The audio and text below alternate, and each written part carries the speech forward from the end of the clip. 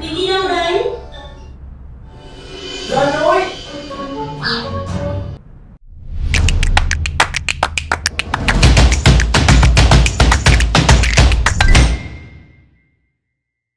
Xin chào các bạn. Để mà chúng ta có thể set up một camera kết nối với loa ngoài để phát lời chào to và rõ ràng hơn, thì việc đầu tiên chúng ta cần chuẩn bị đó là một con camera TIOC có hỗ trợ cổng audio out cùng với đó là khả năng cho phép chúng ta đưa vào những âm thanh mà chúng ta mong muốn.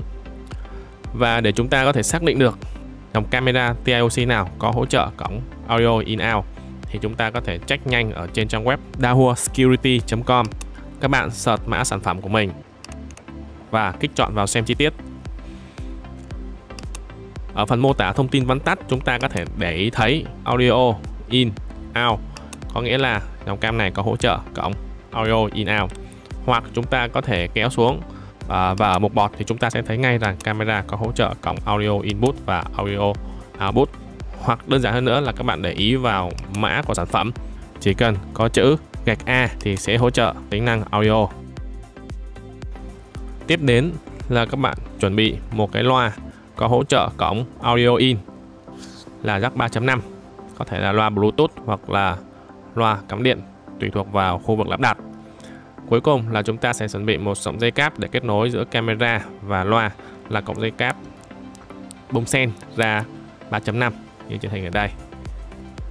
Việc kết nối thì cực kỳ đơn giản rồi, chúng ta chỉ việc kết nối một cổng jack bông sen bất kỳ vào cổng audio out của camera và đầu 3.5 còn lại của dây chúng ta kết nối vào loa Bluetooth. Và tất nhiên là camera và loa của chúng ta phải được cấp nguồn rồi nhé. Rồi, sau khi mà các bạn đã gắn camera và bố trí các thiết bị, âm thanh của chúng ta phù hợp, thì chúng ta sẽ tiến hành vào camera để cấu hình. Đầu tiên, các bạn vào mục setting. Ở phần camera, các bạn chọn cho mình tab audio. Vào tiếp audio, các bạn kéo volume của speaker lên mức phù hợp. Sau đó chúng ta qua tab alarm audio. Ở đây là tận tất cả các cái âm báo có sẵn trong camera.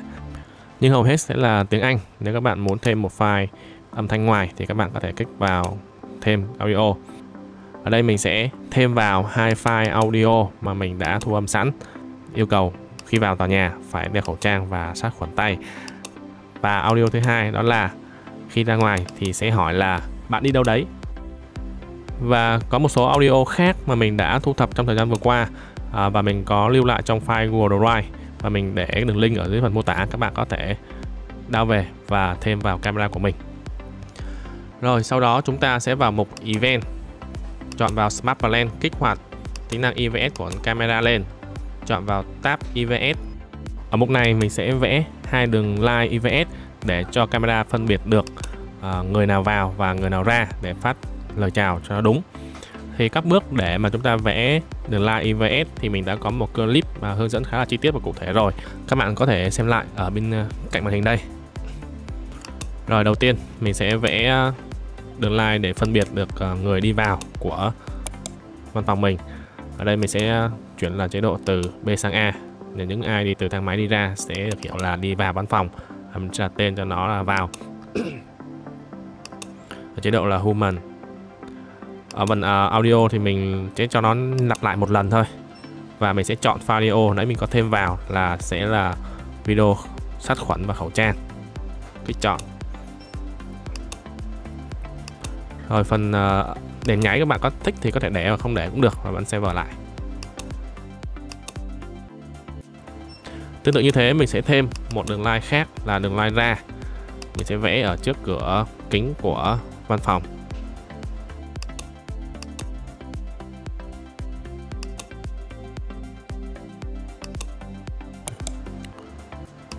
Rồi mình sẽ chỉnh lại một chút xíu. Mình sẽ kéo xịt ra chút xíu để nó khỏi bị vướng cái cửa khi mà mở ra.